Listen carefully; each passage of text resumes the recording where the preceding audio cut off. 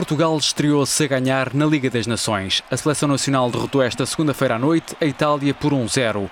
O único gol do jogo no Estádio da Luz foi marcado por André Silva no início da segunda parte, após uma boa arrancada de Bruma. Foi o 13º gol do avançado em 28 jogos com a camisola das esquinas. A seleção nacional ainda viu uma bola bater na trave e outra ser travada em cima da linha de golo, mas o resultado manteve-se. Foi a sexta vez que Portugal ganhou à Itália, o que já não acontecia há mais de 60 anos. No próximo jogo da Liga das Nações, a seleção defronta a Polónia a 11 de outubro.